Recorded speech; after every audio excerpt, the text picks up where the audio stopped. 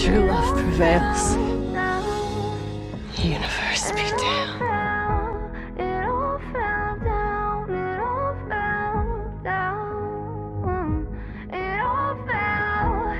We can never be together.